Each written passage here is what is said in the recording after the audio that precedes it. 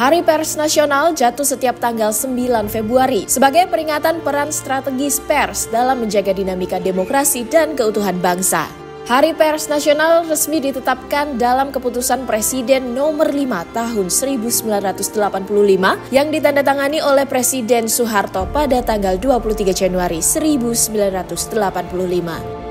Sejarah Hari Pers Nasional tak lepas dari perjalanan Persatuan Wartawan Indonesia yang didirikan pada 9 Februari 1946 sebagai wadah perjuangan para wartawan Indonesia dalam upaya mewujudkan kemerdekaan dan cita-cita nasional.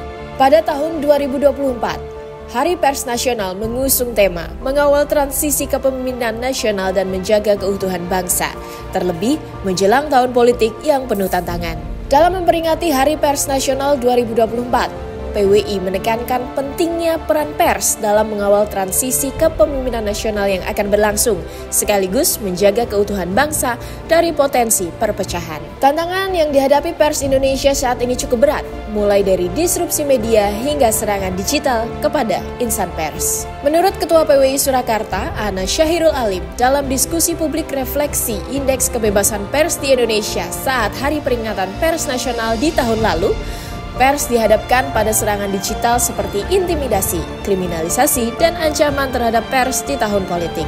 Selain itu, isu keberlangsungan media menjadi sorotan utama dengan adanya disrupsi model bisnis media oleh platform digital global. Sekira 60% belanja iklan saat ini diambil oleh platform digital global yang mengancam pendapatan dan keberlangsungan media nasional. Dalam menghadapi tantangan ini, PWI dan Dewan Pers menekankan pentingnya peran masyarakat dalam mendukung kebebasan pers. Peringatan Hari Pers Nasional 2024 mengajak seluruh elemen bangsa untuk mendukung pers dalam menjalankan fungsinya sebagai pilar demokrasi.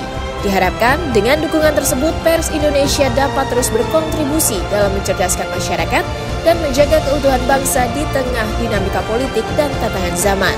Selamat Hari Pers Nasional 2024. Mari kita dukung pers Indonesia yang independen, profesional, dan bertanggung jawab demi kemajuan demokrasi dan keutuhan bangsa. SCCLive.com mengabarkan.